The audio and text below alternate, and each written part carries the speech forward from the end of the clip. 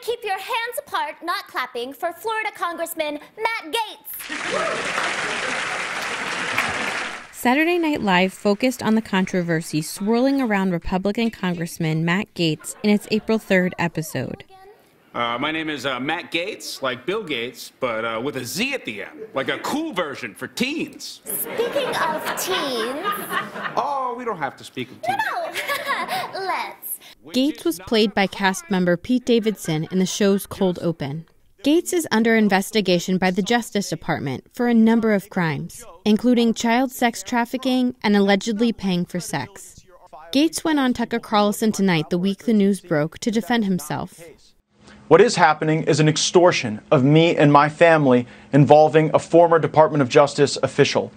Representative Matt Gaetz, who looks like a caricature artist drawing of me, is reportedly under investigation for an alleged sexual relationship with an underage girl because Gaetz believes that only voters should have to show ID.